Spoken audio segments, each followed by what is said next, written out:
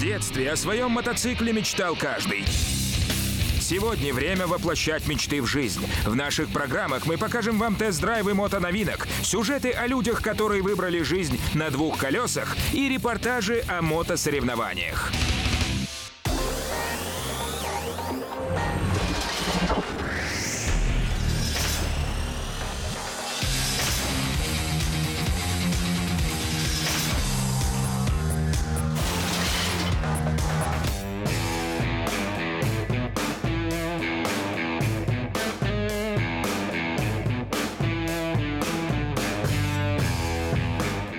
Так уж повелось испокон веку, что туристические эндуры выпускаются в среднем и старших кубатурах от 600 кубов и больше. И практически нельзя найти туристический мотоцикл в классе до 400 кубических сантиметров. Однако же тренд последних лет всего мотопрома – это 300-кубовые мотоциклы, и они есть в модельных линейках практически всех производителей на сегодня. Но все эти мотоциклы относятся к асфальтовому классу. И поскольку природа и рынок не терпят пустоты, в природе не могло не появиться 300-кубовых мотоциклов других классов. И пока все остальные производители только собираются выпустить свои новинки, Kawasaki уже представила и начала продавать свою версию маленького туристического эндуро Versus X 300. Это программа «Два колеса». Меня зовут Павел Курлапов. Поехали! Но сначала немного истории. Слово Versus, или если быть точным, VRSys, аббревиатура от Versatile System. Вольно можно перевести как «универсальная система». Versus 650 стал одним из первых кроссоверов в индустрии и снискал довольно широкую популярность. Несколько лет назад увидел свет и литровый Versus, а трехсотка закрыла последнюю вакансию в семействе. Двигатель Versus 300, естественно, также получил от своего донора. Здесь установлен 296-кубовый двухцилиндровый рядный двигатель от мотоцикла Ninja 300. Двигатель по-спортивному очень крутильный. Красная зона на тахометре начинается с 12 тысяч оборотов в минуту, что, конечно же, не очень характерно для мотоциклов, предназначенных и для езды по бездорожью. Еще одна характерная особенность этого мотора – это сдвоенные э, дроссельные заслонки. Для того, чтобы сделать отклик двигателя более резким, более быстрым, и чтобы двигатель лучше набирал обороты, необходимо увеличивать диаметр дроссельной заслонки. Однако, если сделать его слишком большим, мотоцикл станет излишне нервно реагировать на ручку газа. Именно для того, чтобы сгладить вот эти э, нервные реакции двигателя на команды пилота, и сделана вторая дроссельная заслонка, которая управляется электроникой. Рабочий объем двигателя составляет 296 кубических сантиметров. Мотор довольно короткоходный. Диаметр цилиндра и ход поршня составляют 62 и 49 миллиметров соответственно. И благодаря этому мотор очень высокооборотистый. Максимальная мощность 40 лошадиных сил достигается при 11,5 тысячах оборотов в минуту, а пик крутящего момента в 25 ньютон-метров приходится на 10 тысяч. Плюс ко всему здесь установлена, как говорят инженеры Kawasaki, система помощи выжима сцепления. Правда, они не говорят, как она устроена, тем не менее факт остается фактом. За более чем 20-летнюю практику управления разными мотоциклами более мягкого рычага сцепления я не встречал нигде и никогда. Ходовая часть Версуса при первом изучении также вызывает достаточно большой ряд вопросов, потому что она никак не выглядит как а, принадлежащая мотоциклу для бездорожья. Так, например, спереди установлена самая простая нерегулируемая вилка с диаметром перьев 41 мм и ходом всего-то 130 мм. Сзади установлен нерегулируемый амортизатор, хоть и оборудованный фирменной Kawasaki системой прогрессии, но ход ее тоже далеко не рекордный 148 мм.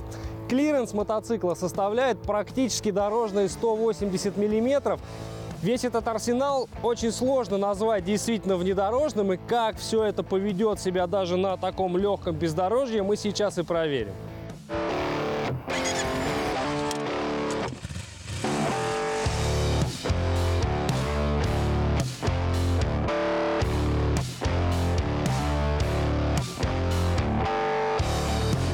Даже на самой лайтовой грунтовке подвеска Versus сдает. Ее хоть и не пробивает на каждой кочке, но энергоемкости катастрофически не хватает. Говорить о более интенсивном режиме движения, чем на цыпочках, вообще не приходится. Мотоцикл теряет управляемость, взлетая над ухабами. Гидравлика не справляется даже с простейшими волнами, да и ходов подвесок для оффроуда маловато. Словом, настройки сугубо асфальтовые.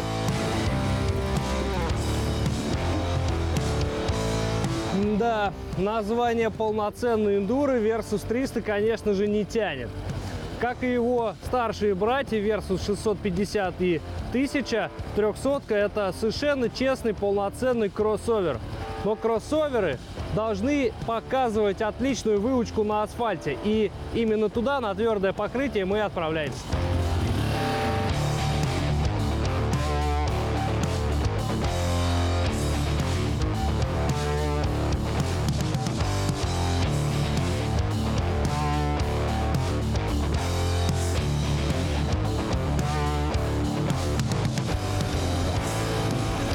Как только выезжаешь с грунтовой дороги на асфальт, еще острее чувствуется то, что Versus это все-таки на 90% асфальтовый мотоцикл. Пусть он и пытается притвориться вседорожником или мотоциклом двойного назначения. Сразу дает о себе знать характер двухцилиндрового крутильного форсированного мотора. Он отлично тянет и с низких оборотов, но, конечно же, раскрывается максимально где-то к середине диапазона и в верхней э, части тахометра он также не пасует, поэтому можно смело крутить газ. Подвеска также пасовавшая на даже небольших ухабах на грунтовой дороге, на асфальте начинает себя вести как совершенно стандартная асфальтовая подвеска бюджетного малокубатурного мотоцикла. На асфальте подвеска также не обнаруживает каких-либо сверхспособностей. Ее предел – спокойное перемещение по дорогам в режиме водителя первосезонника. 41-миллиметровая вилка в более-менее быстрых поворотах начинает плавать. Сказывается недостаток жесткости на кручение. В общем, никаких спортивных амбиций, только перемещение из пункта А в пункт Б с возможностью залезть на бордюр. По эргономике стоит совершенно отдельно сказать. Эргономика маленькой трехсотки построена совершенно четко на взрослого европейца. Я с ростом 188 сантиметров располагаюсь за рулем совершенно спокойно, а вот сиденьем создатели мотоцикла явно прогадали, потому что лавка здесь довольно узкая и ужасно жесткая. Это, опять же, первый мотоцикл, у которого настолько жесткое сиденье. Я имею в виду первый в рейтинге жесткости сидений. Пожалуй, более жесткие лавки я встречал только на чистокровных красачах. Но если уже этот аппарат претендует на звание мотоцикла для путешествий, то, конечно же, сиденье должно быть несколько шире и, самое главное, несколько мягче. Зато приятно удивила геометрия по рулю подножкам. Вставая на подножках на оффроуде даже на более кубатурных аппаратах, мне часто приходилось сутулиться. Руль установлен слишком низко, но на Версусе я смог расправить спину и встать в полный рост. К тормозам никаких претензий нет. Спереди один диск, сзади один диск. А, Тормозные механизмы Nissin работают очень адекватно, плавно, ровно и прогнозируемо. Естественно, на мотоцикле установлена система ABS. Без нее сегодня никуда. Но тут не обошлось без ложки дегтя. АБС не отключаемая, что для мотоцикла с претензией на внедорожность совершенно непростительно. При езде по песку или по скользкой размокшей земле, по траве, антиблокировка может серьезно осложнить жизнь пилоту. Ну а в общем и целом, конечно же, а, чувствуется то, что Kawasaki это все-таки фирма с большими давними традициями, то, что они умеют делать мотоциклы.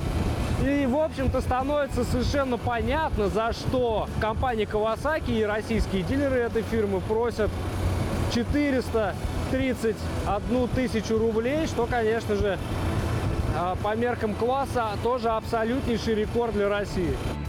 Сможет ли Versus повторить успех ниндзя? Мне кажется, вряд ли. И не потому, что мотоцикл плох, он действительно классный. Но вот ценовая политика российского представительства Kawasaki может серьезно подпортить продажи, учитывая, например, то, что уже этой зимой в Россию приедет BMW 310 GS, и цена на него будет значительно ниже. Да и другие производители не заставят долго ждать свои вседорожные 300.